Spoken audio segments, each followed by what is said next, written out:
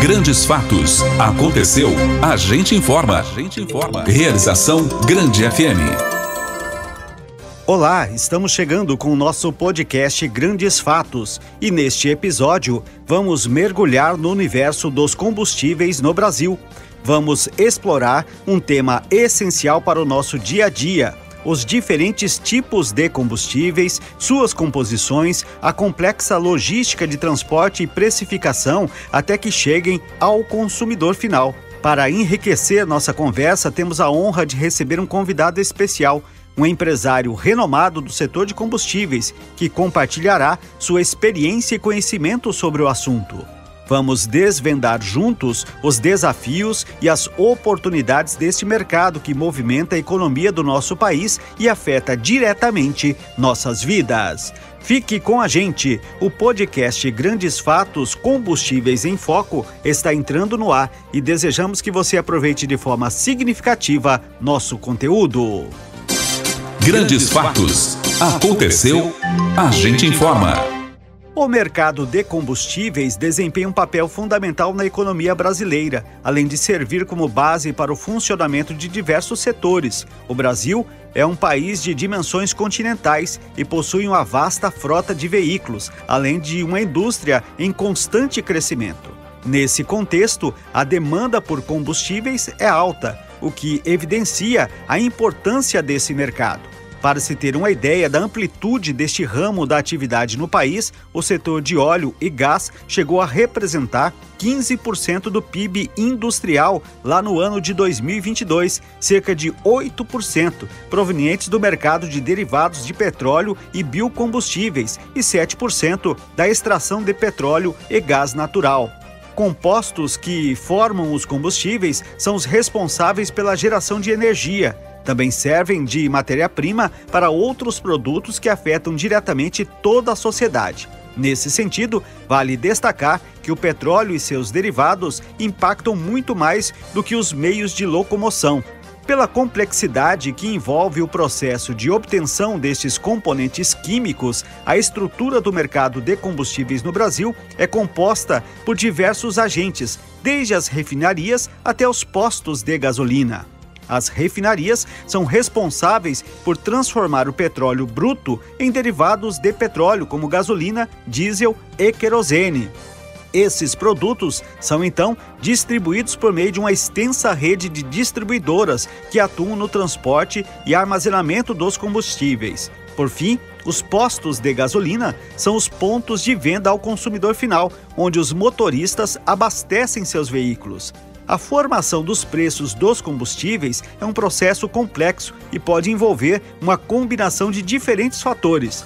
As flutuações no preço da gasolina, por exemplo, podem gerar impactos econômicos significativos, afetando os consumidores, as indústrias e a economia como um todo.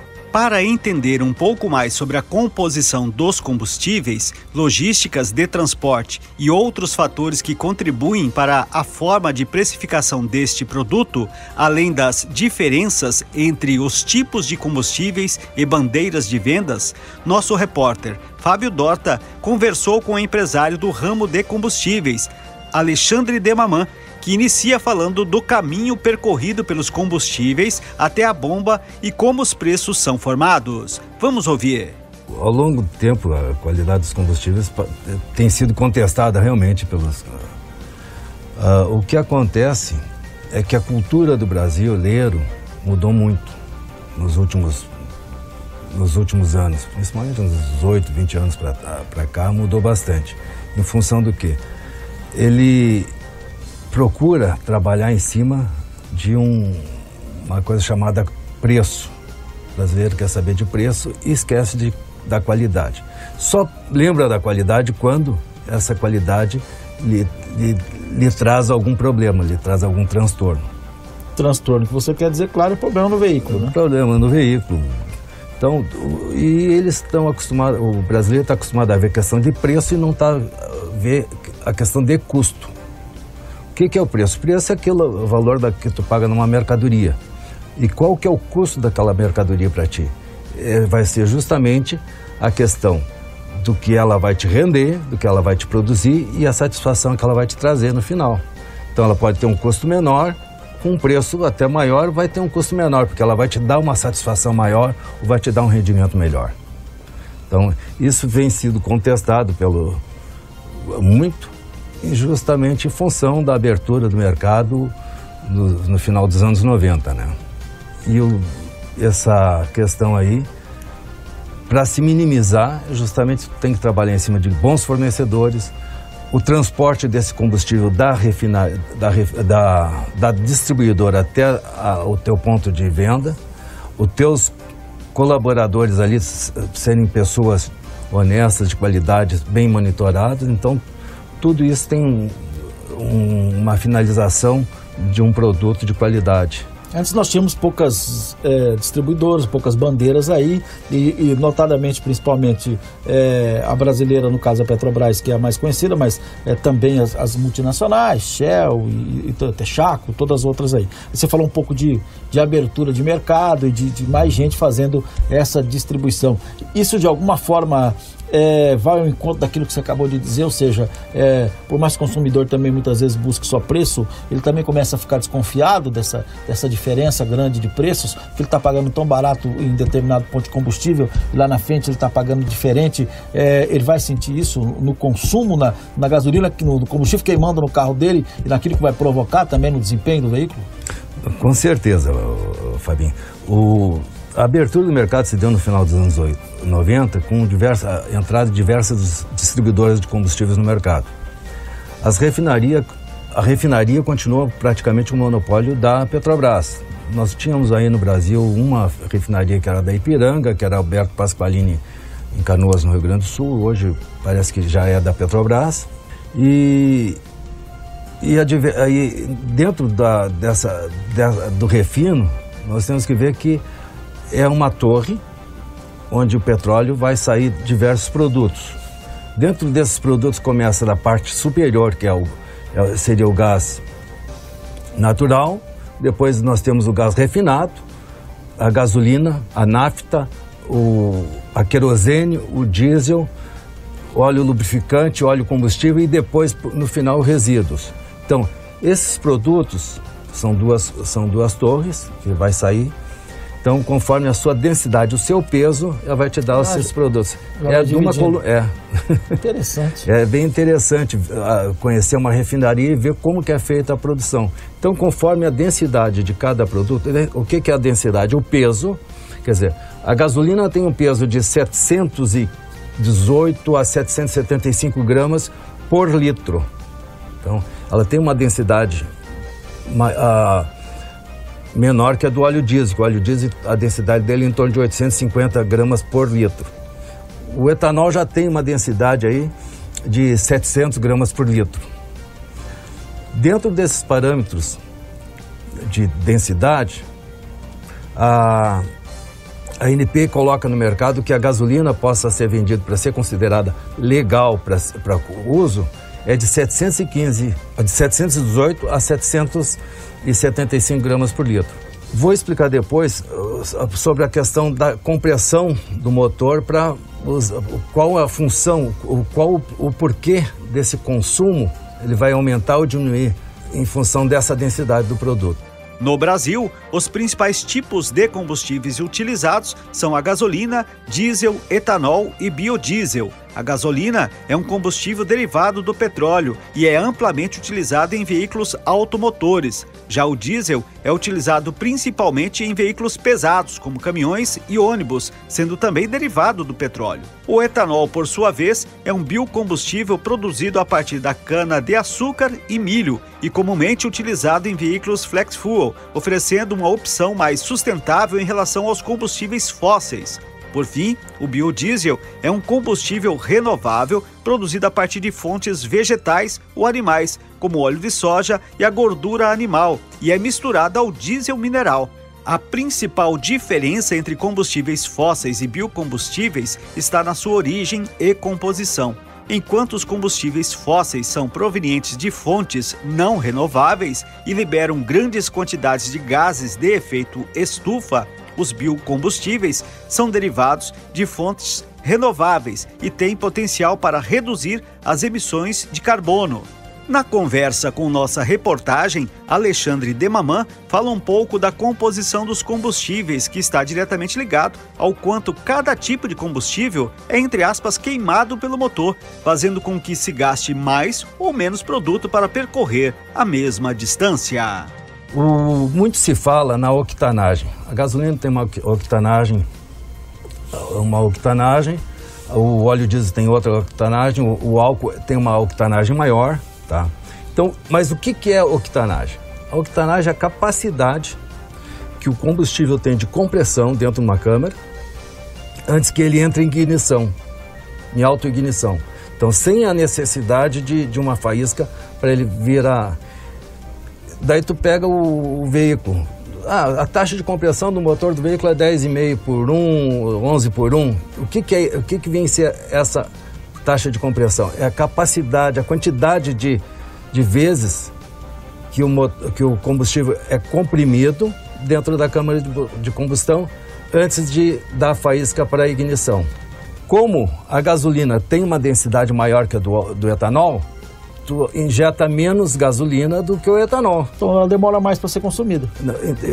E a taxa de compressão, ela vai fazer aquela compressão, tu injeta mais, mais álcool para dar a mesma taxa de compressão dentro e dar o start. No óleo diesel, ele não, nós não temos o start por faísca. Ele se auto.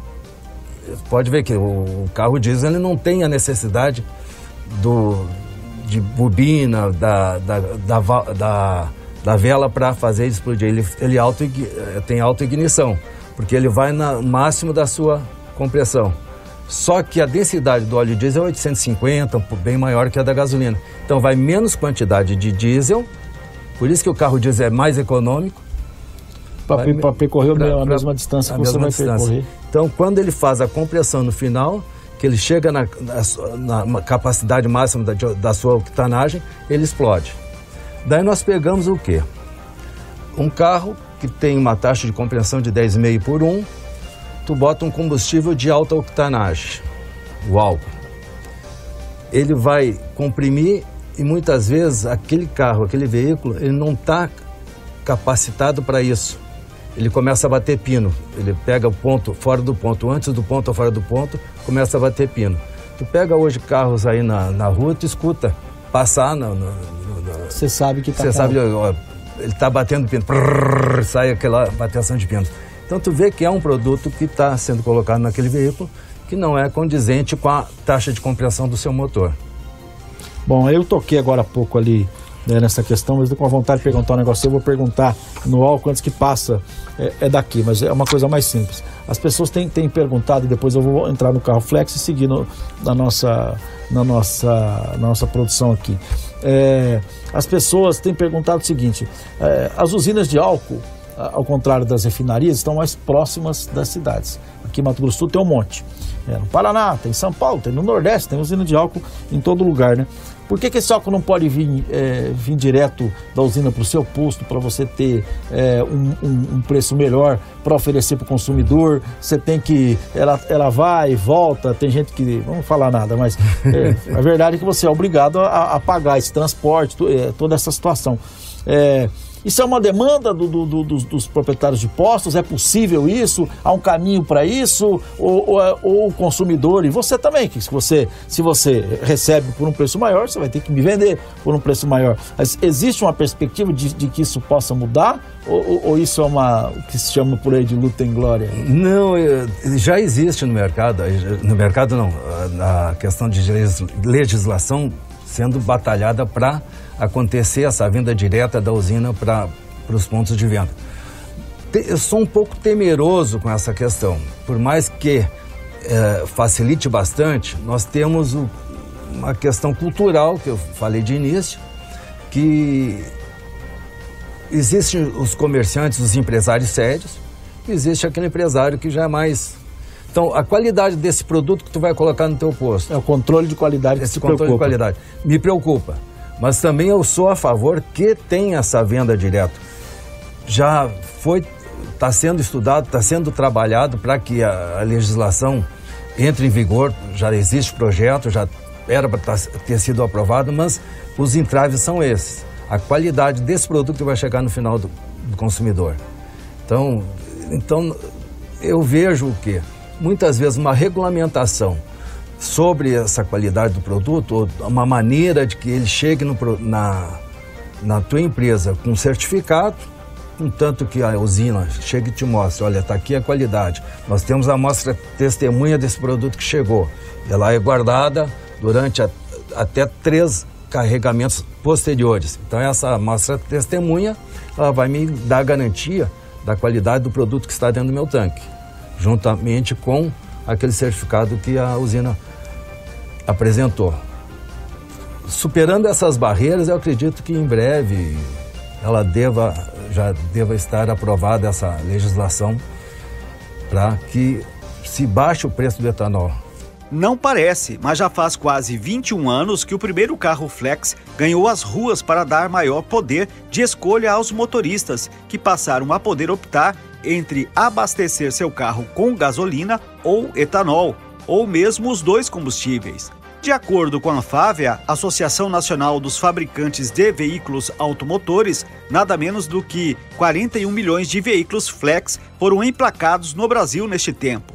De acordo com a associação, essa importante marca foi atingida em fevereiro, um número que chama a atenção por si só. Para se ter noção, os primeiros carros com tecnologia flex chegaram ao mercado brasileiro no fim de março de 2003 Antes disso, o país só contava com carros de passeio movidos a gasolina ou etanol, chamado álcool na época. A chegada dos motores flex significaram um grande avanço tecnológico, já que os veículos podiam usar gasolina ou etanol ao mesmo tempo, os dois combustíveis juntos ou qualquer proporção no tanque de combustível. Alexandre Demaman, empresário com vasta experiência no ramo de combustíveis, nos fala agora sobre a maneira correta de utilização de tipos diferentes de combustíveis nos veículos, além de outros importantes pontos desses produtos. A questão do carro flex, tu trabalha com 70% do valor do álcool para a gasolina. Esse é o consumo do, do, do carro, ele consome 70% do que a gasolina consome. Se é mais vantajoso tu trabalhar com o álcool, tiver abaixo de 70%, o valor da gasolina, do, do álcool, tu abastece com. O cuidado que tem que se ter é justamente tu consumir toda aquela gasolina que tem no tanque, deixando o mínimo possível. Porque Entendi. o álcool de bomba, o etanol de bomba, que a gente fala álcool, mas, é, é, o, etanol, mas é o, etanol, etanol, ele é, ele é hidratado. Tu vês na, na, no brief de entrada que tem ali em torno, ela falou em torno de 94,5. Hoje está 93, está tá em torno de 7%. Um uh, então ela tem 7% de, de água na, no etanol. Essa água misturada com a gasolina, ela, ela, ela, ela fica. Ela decanta e vai acumulando no fundo do tanque. Então, se tu botar 50 reais de gasolina, 50 reais de, de etanol, não é um bom negócio. Não é um bom negócio porque vai começar a destilar aquele 7%. Tu já perde 7% de combustível aí e começa a ir embora pelo escapamento. Então, quando se mudar entre gasolina e etanol, procurar sempre ter o mínimo possível de produto dentro do tanque. Ah, então é, é essa, é, essa é a relação correta então.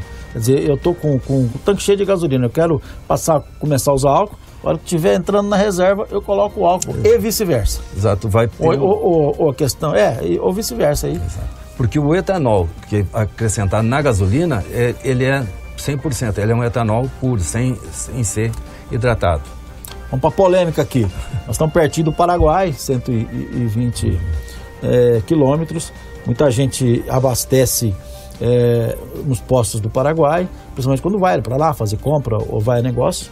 E eu imagino que seja uma situação mais complicada para aqueles que têm os postos bem próximos da região de fronteira, porque aí o cara atravessa a rua. Existe o risco realmente de você abastecer no Paraguai? Os carros brasileiros é, eles, eles estão preparados para isso? Pode haver um, um problema sério é, de combustível? O que é realidade e o que é, é ficção nisso aí? Como no Brasil e em diversos outros países, o Paraguai também tem diversos, vários tipos de gasolina. Lá tem a regular, tem.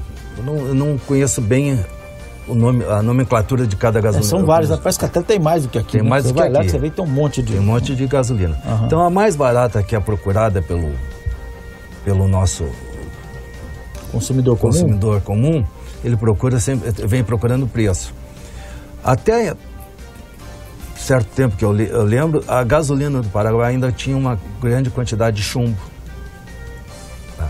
No Brasil, já, isso, a- o chumbo foi abolido já nos anos 70. Olha só a É diferença. proibido. né? Então, E o chumbo é, é um metal pesado, altamente poluente também. E é- foi proibido no Brasil. Até pouco tempo no Paraguai eu sei que tinha o chumbo, principalmente nessa gasolina mais barata. Nas outras gasolinas já não tinha quantidade, já não tinha chumbo e tal. E altamente ah, prejudicial ao, a esses veículos mais novos, com ignição, com ignição eletrônica, principalmente esses carros importados, usar esse tipo de gasolina. Tanto é que vários. Isso aí, a questão de começou a entrar os carros importados no Brasil, vinha os manuais de, de- de- do proprietário, o mecânico da concessionária lá chegava e falava, digo, olha, não é para usar gasolina aditivada no teu carro. Ah, por quê? Tipo, não, tá aqui no manual. Don't use, põe um aditivo e tal, não sei o quê. O que, que é? Não use gasolina aditivada com chumbo. E não é a gasolina aditivada nossa. O tal. aditivo que você tem hoje, que é, que é um, quase um é lubrificante, é um né? dispersante. Ele é um dispersante, limpa, mantém limpa. Ia lá no Paraguai, botava gasolina com chumbo, problema no carro. Então, tu tens lá gasolinas de qualidade, como nós temos no Brasil. Tanto é que a Petrobras é uma das fornecedoras, a YPF do, da Argentina é uma das fornecedoras. Então, tu tens todo tipo de gasolina lá. E é aberto, mostrado, tem, tem Lá como aqui, você tem que ter, é, esco- fazer a escolha correta. lá até é mais transparente do que aqui. É verdade? É verdade.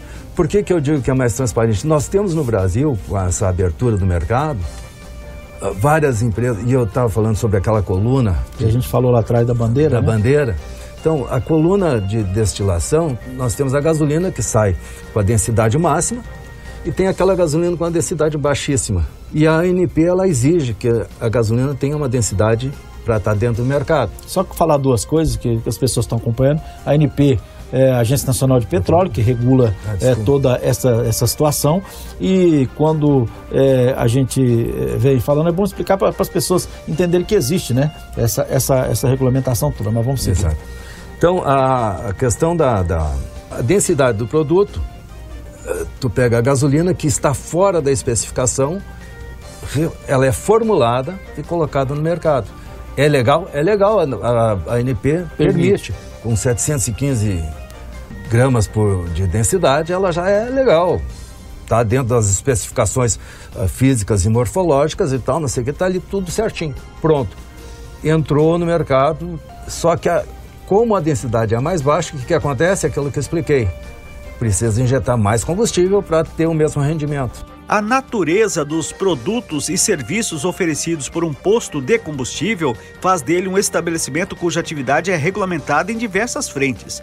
Assim, seja para tratar de questões ambientais, situações de risco laboral ou implicações fiscais, existe uma série de leis e normas para determinar as responsabilidades que devem ser assumidas e as medidas a serem tomadas. Em razão das penalidades previstas, o descumprimento da legislação aplicável pode representar custos significativos para o estabelecimento. Nesse sentido, multas, suspensões e até perda da licença de funcionamento podem ser imputadas ao posto. Para evitar que isso aconteça com o seu estabelecimento, é preciso conhecer esses diplomas legais que regulamentam quase toda a vida do segmento, estando sempre em conformidade com as previsões da legislação proprietário de postos de combustíveis em Dourados, no Mato Grosso do Sul, o empresário Alexandre Demamã fala um pouco sobre isso e também o que pensa sobre o GNV, uma forma alternativa de combustível no Brasil. Sobre a legislação para trabalhar no setor de combustíveis, Alexandre afirma que as regras são bastante pesadas. A questão do carro flex, tu trabalha com 70% do valor do álcool para a gasolina. Esse é o consumo do, do, do carro, ele consome 70% do que a gasolina consome. Se é mais vantajoso tu trabalhar com o álcool, tiver abaixo de 70%, o valor da gasolina, do, do álcool, tu abastece com. O cuidado que tem que se ter é justamente tu consumir toda aquela gasolina que tem no tanque, deixando o mínimo possível. Por quê? Entendi. O álcool de bomba, o etanol de bomba, que a gente fala álcool, mas É o é, o, álcool, eta- mas é o o etanol. Ele é, ele é hidratado. Tu viste na, na- no brief de entrada que tem ali, eh, em torno, de- ela falou em torno de s- 94,5%. Hoje está 93%, está tá em torno de 7%. Um. Ah, então, ela tem 7% de, de água na- no etanol. Essa água misturada com a gasolina, ela decanta e vai acumulando no fundo do tanque. Então, se tu botar 50 reais de gasolina e 50 reais de, de etanol, Não é um bom negócio. não é um bom negócio porque vai começar a destilar aquele 7%. Tu já perde 7% de combustível aí e começa a ir embora pelo escapamento. Então, quando se mudar entre gasolina e etanol, procurar sempre ter o mínimo possível de produto dentro do tanque. Ah, então é, é- essa, é, essa é a relação correta, então. Quer dizer, eu tô com, com o tanque cheio de gasolina, eu quero passar, começar a usar álcool, a hora que estiver entrando na reserva, eu coloco o álcool e vice-versa. Exato, vai ter Ou, ou- ou- a questão, é, ou vice-versa aí. Porque o etanol que é acrescentado na gasolina, é- ele é 100%, ele é um etanol puro, sem, sem ser hidratado. Vamos para polêmica aqui. Nós estamos pertinho do Paraguai, 120 é, quilômetros. Muita gente abastece é, nos postos do Paraguai, principalmente quando vai para lá fazer compra ou vai a negócio. E eu imagino que seja uma situação mais complicada para aqueles que têm os postos bem próximos da região de fronteira, porque aí o cara atravessa a rua. Existe o risco realmente de você abastecer no Paraguai? Os carros brasileiros é, eles, eles estão preparados para isso? Pode haver um, um problema sério é, de combustível? O que é realidade e o que é, é ficção nisso aí? Como no Brasil e em diversos outros países, o Paraguai também tem diversos, vários tipos de gasolina. Lá tem a regular, tem. Eu não, eu não conheço bem o nome, a nomenclatura de cada É, gasolina. são vários, parece que até tem mais do que aqui. Tem né? mais você do que vai lá aqui. que você vê tem um monte de. Tem um monte de gasolina. Aham. Então a mais barata que é procurada pelo, pelo nosso consumidor comum. consumidor comum, ele procura sempre, vem procurando preço. Até certo tempo que eu, eu lembro, a gasolina do Paraguai ainda tinha uma grande quantidade de chumbo. No Brasil, já, isso, a- o chumbo foi abolido já nos anos 70. Olha só a É diferença. né? Então, E o chumbo é, é um metal pesado, altamente poluente também. E é- foi proibido no Brasil. Até pouco tempo no Paraguai eu sei que tinha o chumbo, principalmente nessa gasolina mais barata. Nas outras gasolinas já não tinha quantidade, já não tinha chumbo e tal. E altamente ah, prejudicial ao, a esses veículos mais novos, com ignição, com ignição eletrônica, principalmente esses carros importados, usar esse tipo de gasolina. Tanto é que vários. Isso aí, a questão de começou a entrar os carros importados no Brasil, vinha os manuais de, de- de- do proprietário, o mecânico da concessionária lá chegava e falava, digo, olha, não é para usar gasolina aditivada no teu carro. Ah, por quê? Eu digo, não, tá aqui no manual. Don't use, põe um aditivo e tal, não sei o quê. O que, que é? Não use gasolina aditivada com chumbo. E não é a gasolina aditivada nossa. O Não. aditivo que você tem Esse hoje, que é, que é um, aditivo, quase um que é lubrificante, é um né? dispersante, ele é um dispersante, limpa, mantém limpa. E ia lá no Paraguai, botava gasolina com chumbo, problema no carro. Então, tu tens lá gasolinas de qualidade, como nós temos no Brasil. Tanto é que a Petrobras é uma das fornecedoras, a YPF do, da Argentina é uma das fornecedoras. Então, tu tens todo tipo de gasolina lá. E é aberto, mostrado, tem, tem Lá como aqui, você tem que ter, é, esco- fazer a escolha correta. lá até é mais transparente do que aqui. É verdade? É verdade. Por que, que eu digo que é mais transparente? Nós temos no Brasil, com essa abertura do mercado, várias empresas, e eu estava falando sobre aquela coluna Que a gente falou lá atrás da bandeira, da né? bandeira. Então, a coluna de destilação, nós temos a gasolina que sai com a densidade máxima e tem aquela gasolina com a densidade baixíssima. E a ANP, ela exige que a gasolina tenha uma densidade para estar dentro do mercado. Só que falar duas coisas que, que as pessoas estão acompanhando. A ANP é a Agência Nacional de Petróleo, que regula Ah, é, toda essa, essa situação. E quando é, a gente é, vem falando, é bom explicar para as pessoas entenderem que existe né? essa, essa, essa regulamentação toda. Mas vamos seguir. Exato. Então, a, a questão da, da- Deixa eu me. Está falando das bandeiras das aí. bandeiras. É. Essa, a, a densidade do produto tu pega a gasolina que está fora da especificação, ela é formulada e colocada no mercado. É legal? É legal, a, a, a ANP permite. permite. Com 715 uh, ah, gramas por, de densidade, ela já é legal. Está dentro das especificações uh, físicas e morfológicas e tal, não sei o que, está ali tudo certinho. Pronto. Entrou no mercado, tá. Só que a, como a densidade é mais baixa, o que, que acontece? Aquilo que eu expliquei. Precisa injetar mais combustível para ter o mesmo rendimento. Embora possa parecer uma contradição em meio à crise das mudanças climáticas, a produção mundial de petróleo aumentará nesta década, isso segundo a Agência Internacional de Energia. Os especialistas projetam que nos próximos anos o mercado internacional continuará demandando uma maior quantidade de petróleo bruto, embora antes do final desta década a tendência deva ser invertida, à medida em que as energias renováveis ganhem espaço sobre os combustíveis fósseis.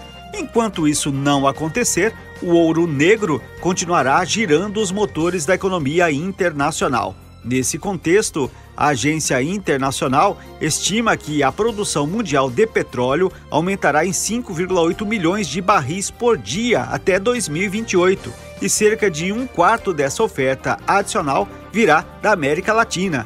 Quem serão os protagonistas desse novo boom? O Brasil, Guiana e, em menor escala, a Argentina, três países que lideram um novo capítulo na produção de petróleo da região. Grandes Fatos, uma realização da Grande FM. Embora existam regulamentações governamentais, o mercado de combustíveis também possui mecanismos internos de autorregulação que visam garantir a qualidade dos produtos e a concorrência justa, a transparência nas operações. Essa responsabilidade fica a critério da Agência Nacional do Petróleo, Gás Natural e Biocombustíveis, ANP, órgão regulador do governo federal que estabelece normas e fiscaliza o cumprimento das regulamentações. Para compreender toda a sua vasta atuação, vale destacar que a ANP é responsável por atuar na regulação da exploração e produção de petróleo e gás com a promoção de estudos para ampliar o conhecimento sobre as reservas brasileiras, a coleta e armazenamento de dados e a promoção de licitações e contratos de concessão em nome da União. Além disso, cabe à ANP autorizar empresas a construir, operar e ampliar refinarias de processamento e de armazenamento de gás natural e de produtos líquidos.